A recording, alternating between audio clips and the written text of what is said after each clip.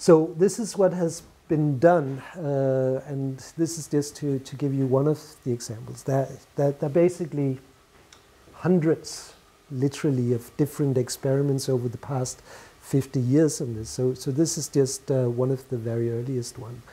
Uh, basically, this shows, again, classical conditioning, similar to Pavlov's dogs, essentially pairing an electrical shock of the tail with tactile condition stimulus of uh, the respiratory system here.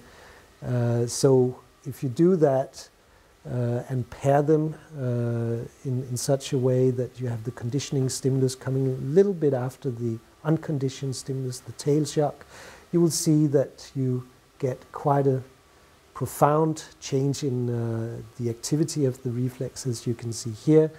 Uh, training here is when you pair the two stimuli, the blue one, as you can see, uh, for several days afterwards, the response becomes much, much bigger uh, as compared to when you give the uh, unconditioned stimulus, the tail shock alone, or when you give the um, conditioned stimulus, the unpaired uh, alone, as you can see down here. So essentially, if you pair them, you get a much, much larger response. The question then is, what is the background for this? What is the molecular mechanisms involved? And in order to understand this, uh, at least uh, one of the mechanisms involved is that uh, when you give this uh, unconditioned stimulus together with the conditioned stimulus, you have basically two different pathways which are being activated. So you have touching of the skin, you activate the sensory input to the motor neurons.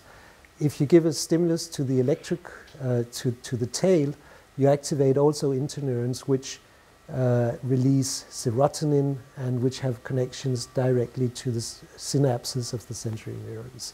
So that is what is shown up here.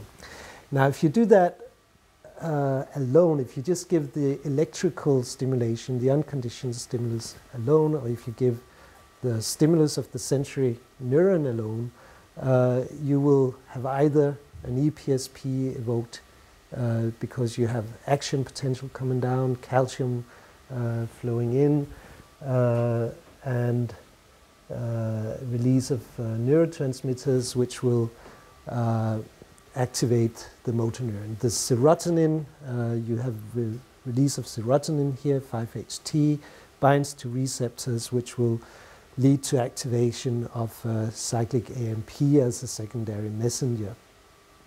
Now, what happens if you activate both of these together is that you have a situation where you have the sensory neuron being activated a little bit uh, after the unconditioned stimulus as shown before, which means that you actually have calcium uh, inside the motor neuron and that calcium can now bind to the uh, adenylyl cyclase, and that leads to release of much more cyclic AMP. So the signaling becomes much more efficient if you uh, activate these two together. The question then is, what is cyclic AMP actually doing in this case?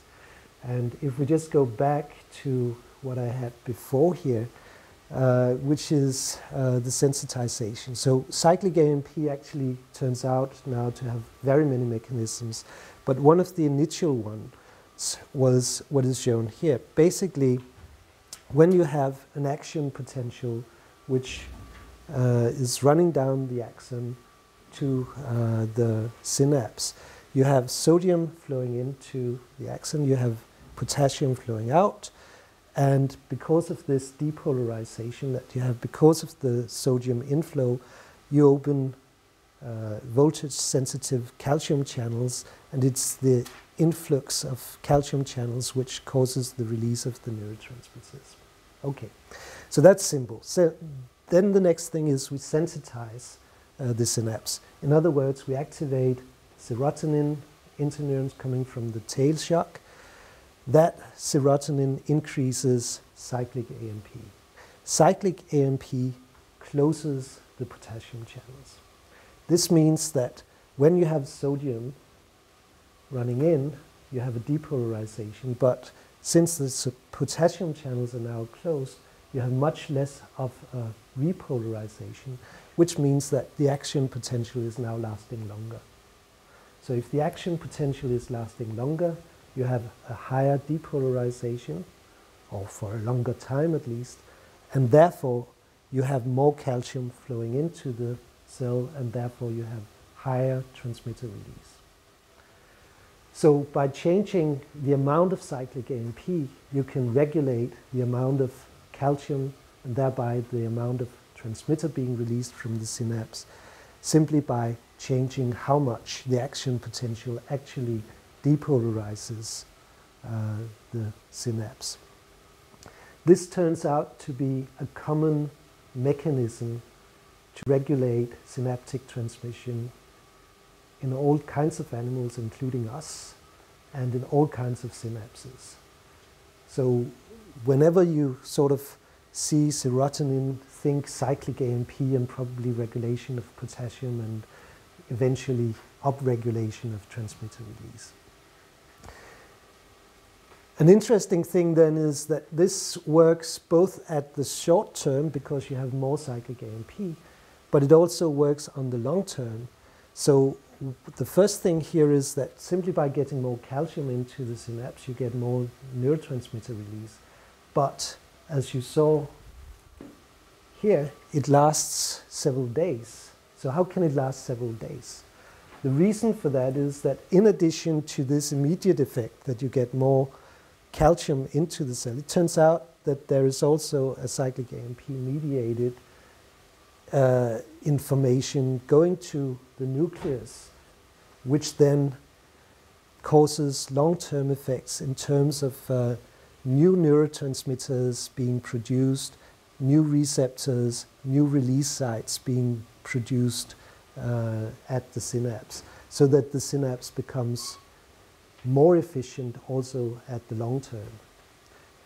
Which means that at that point, you don't really need so much uh, more calcium as such because you already have more neurotransmitters available, you have more release sites, uh, and therefore by the same action potential you now get much more uh, uh release of uh, neurotransmitters.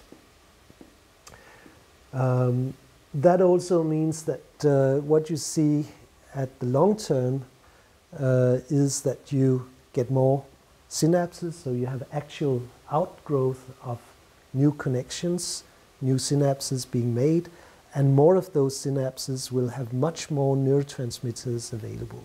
So you have control situation, long-term sensitization with much more connections, and you have long-term habituation, uh, less synapses, and synapses with less neurotransmitters inside of them. Uh, we know what the signaling is all about here. We have demonstrated that, uh, or Kandel has demonstrated that uh, part of the signaling is coming through uh, these uh, signaling mechanisms at the Uh, uh, nuclear level, uh, different molecules which bind to the um, promoter regions uh, of the gene uh, through phosphorylation of uh, some of these mechanisms, you see activation of the actual gene. so it's a relatively complex circuitry, but basically in you could call the normal state without sensitization in this case, uh, there is one molecule, CREB2, which is binded to the promoter region when you have activation of cyclic AMP and uh, signaling to uh, the nucleus. There is another molecule, uh, CREB1, which binds to the promoter region, whereas CREB2 is being removed. And through phosphorylation of this CREB1, you have activation of the gene, you have transcription of the gene, and therefore you can get uh, more synapses being made, you can get more neurotransmitter in the individual uh, synapses. Uh, I'm not going to go through